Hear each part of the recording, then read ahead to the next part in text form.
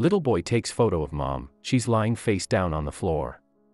Corrigan was trying her best to pay attention. Her son was in desperate need of her attention so she willed herself to keep playing with the Lego pieces. Her son was ecstatic whenever she played with him.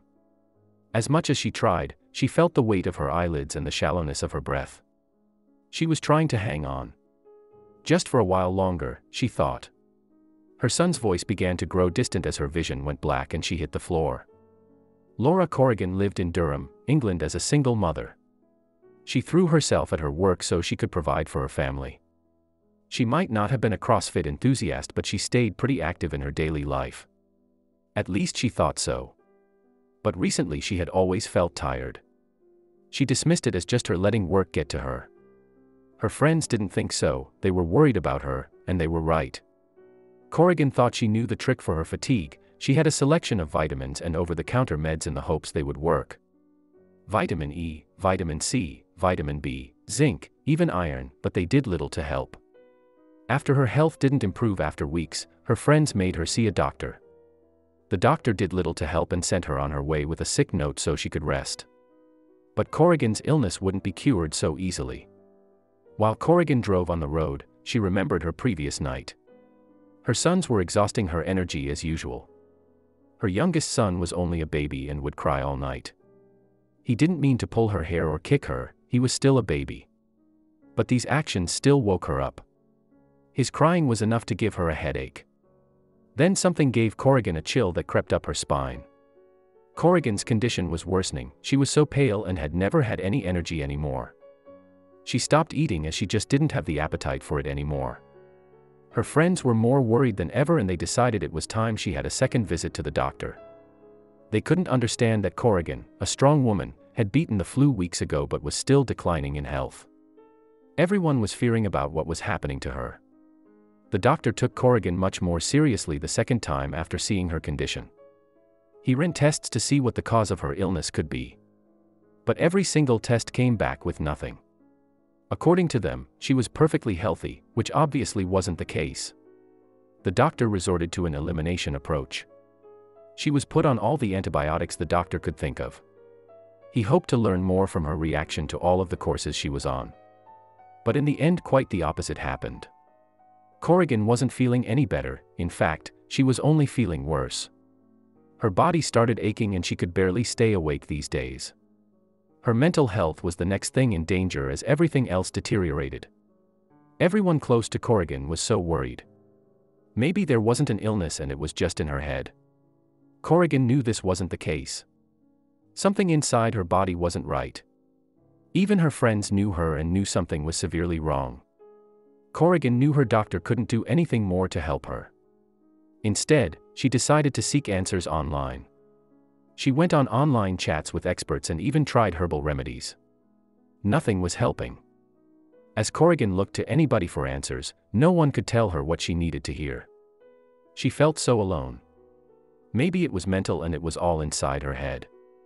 Corrigan finally decided to go back to doctors and get a second opinion.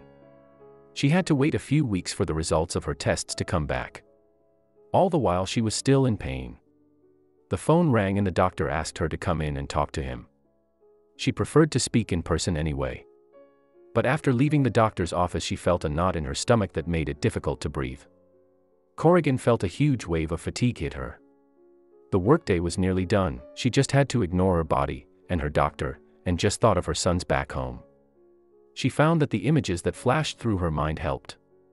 She was thinking about what they'd get up to when she got home from work. This distraction was enough to keep her working and made her feel almost alright. But this didn't last long.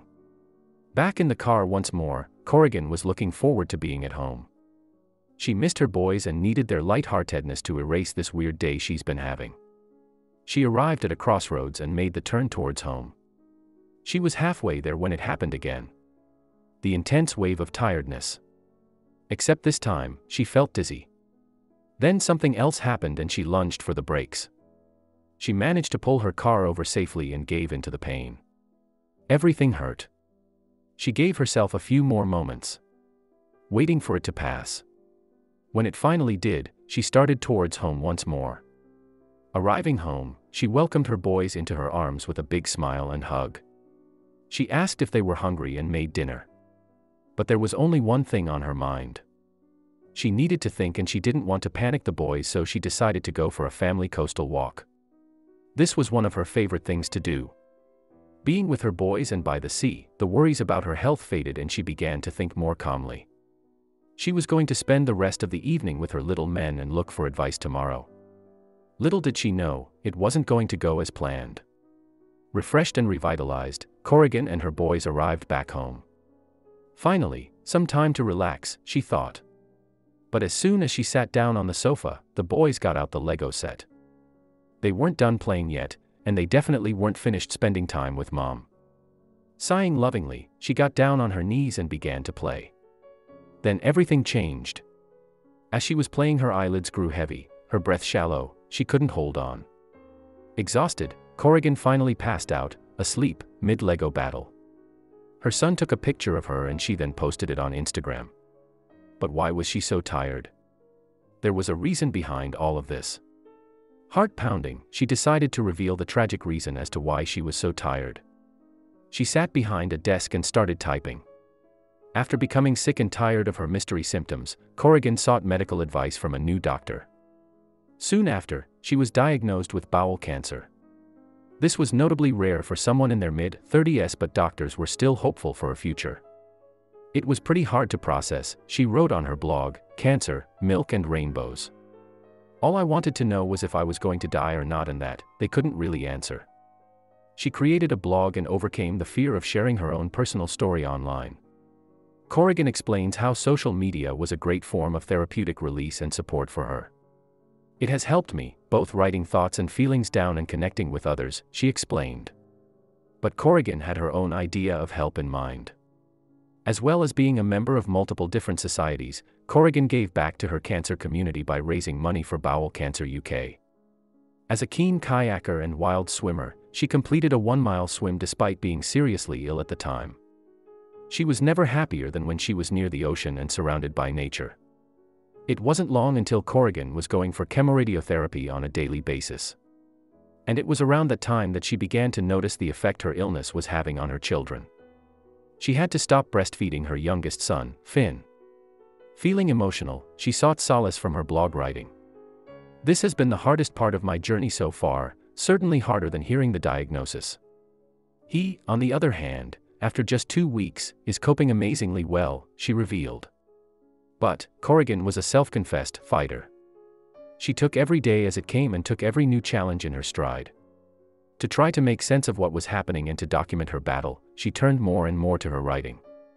I write when I can and have connected with other people a lot that way, as well as in Facebook support groups. Almost one year on from her original diagnosis, Corrigan continues to fight her illness.